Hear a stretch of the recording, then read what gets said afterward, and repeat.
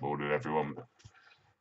Good to see you again today. Um, I thought it's about time that I did another mech review, and I've been looking at this one for quite some time, and it is the um, H Stone Bane, and this is a clone, um, and it's a beauty.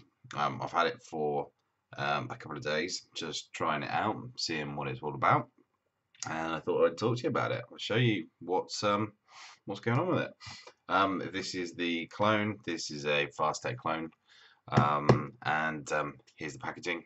I won't show you this in the close-ups because there's no point.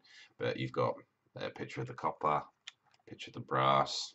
Don't really know why they do that, but hey, um, it kindly tells you that you need to have a hybrid-friendly atomizer on both sides, which I think is quite good. Nice for a clone.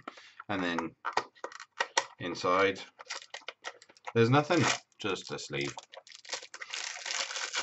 So, that's it. So I've got this with the Kennedy on top.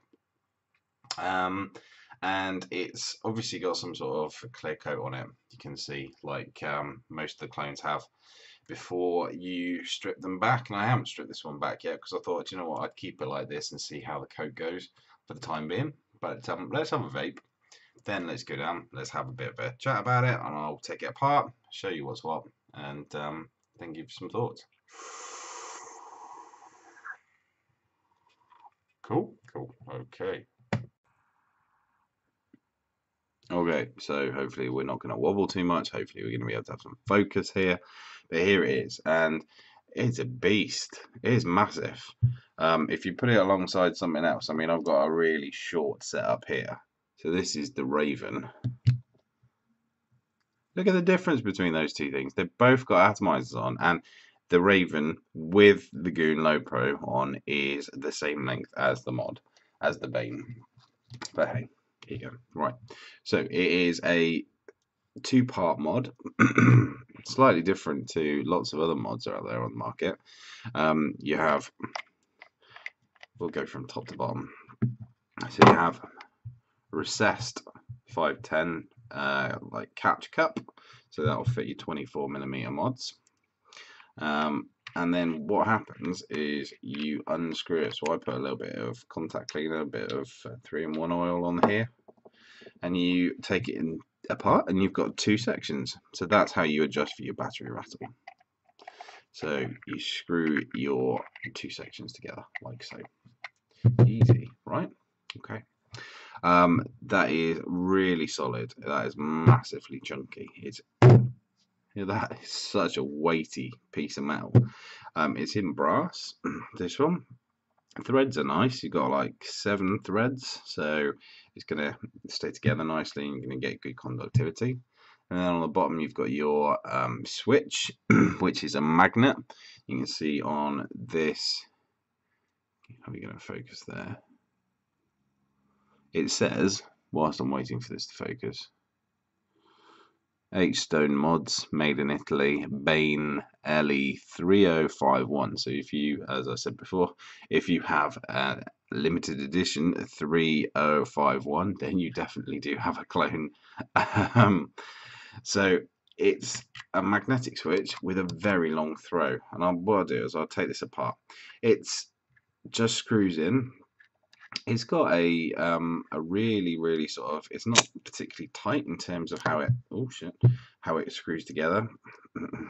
But you've got your sort of your AV style magnets on that oh shit. There we go. So obviously you want to keep them apart so they're not going to smash each other. And then you've got loads and loads of venting. And look at the throw.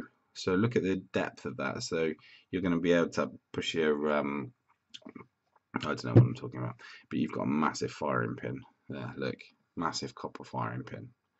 Um, and you can screw that in with a flathead screwdriver, which is quite nice, which is useful.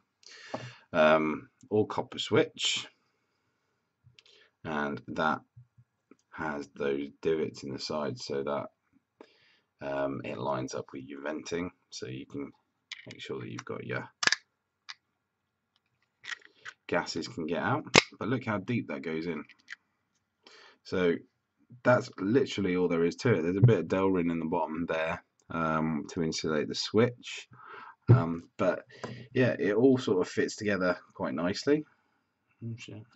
Um, little gripe, the magnet doesn't actually fit into the um, into the switch. It just sort of rests on the top like that. So you can't just push, you can't actually push it in.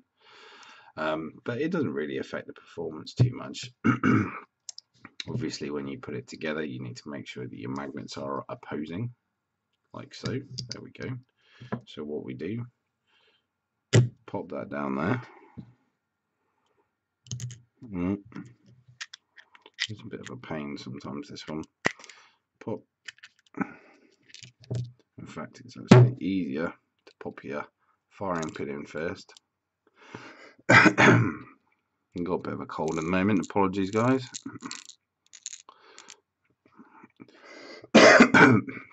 Did this first time, last time, and now I can't seem to get the switch. Ugh.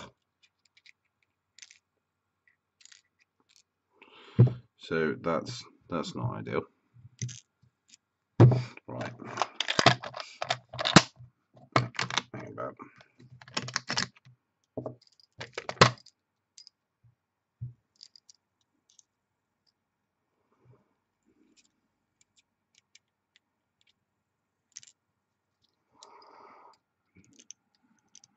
There, just need sort of nosing in using a screwdriver. no drama. And then we have our magnet. So we put our magnet in there pop our other magnets, so put your finger in there. Make sure they're opposing. Seat your magnet in like that. It sort of wobbles about a little bit, but no drama.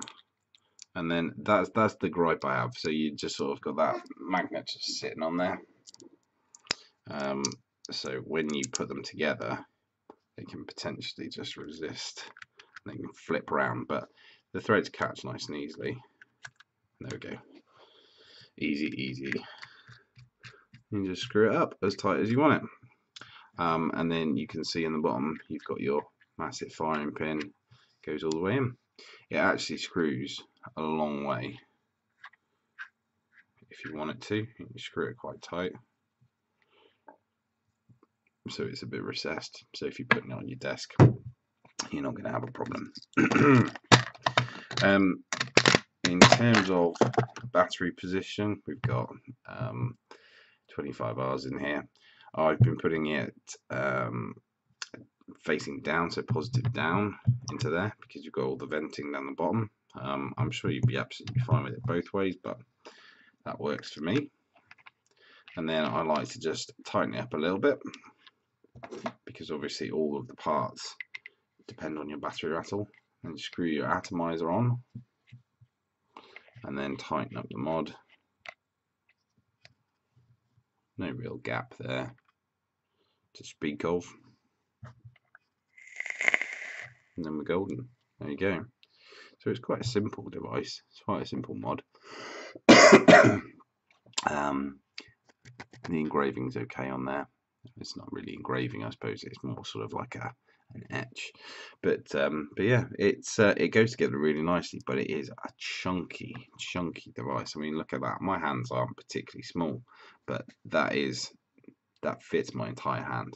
So you could do some damage with that. but yeah, let's go back up and have a chat.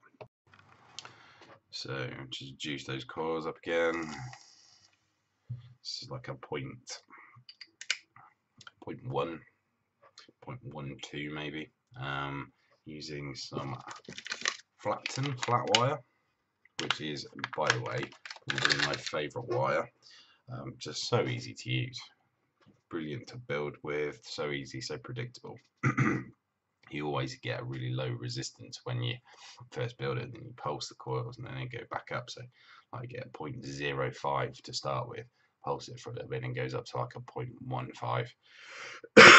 so the heating really helps But yeah, so look, we've got our recessed switch now.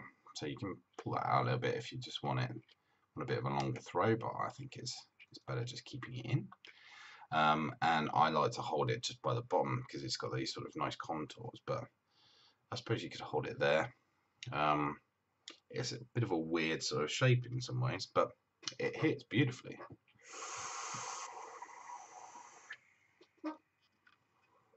It's um it is really nice and predictable. There's no um, no messing around. You can clean your contact nice and easily. Got a hybrid, fixed hybrid. I'm not sure if I mentioned. So it's just there's no disc to remove. It's just a fixed hybrid on the top. Um, let me just plug that on. Go to town. The clone is not. It's not expensive.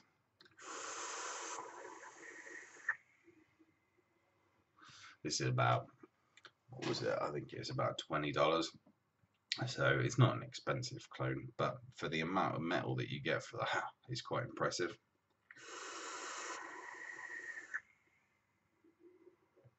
So um, so yeah, that's the H-Stone Mods Bane in brass with a copper switch, copper contacts. Um, they call it a competition mod. Yeah, it is. I mean, it, but I think if I was using this as a daily carrying mod, I think I'd have to be wearing jeans. I wouldn't want to take it to work in a suit because that is just a weighty, weighty, weighty guy. It's just going to drag your seat down. Just some comparisons with some other mods, just in terms of size. So look, I mean that is your Underdog version 2, and that's a chunky mod. But in terms of the comparison side by side with those two, you know, is still massive. Um, what's everyone else going to have had as a frame of reference? I mean, like an Able, for example, alongside an Able, and that's a relatively tall dripper on top of that Able. You know, I mean, I know that the Kennedy is big, but you know, that's that's huge. Anyway, it's been fun. I'll um, talk to you again soon. I need to do a vlog again at some point. Um, so I'll do a vlog. It's been much more around mechs again recently. Um, I don't I don't tend to use regulator at all. So um, that's what I'll be talking about. But yeah, thanks very much for your time. Hope you enjoy. Please like, please subscribe as per usual. I really appreciate it. And we're getting close to 700 subs now. So um, obviously some people are liking it or you're just forgetting to unsubscribe but uh, hey um, I don't mind as long as uh, you're getting something interesting out of this then great but cool thank you very much indeed and I will see you on the next one take care bye bye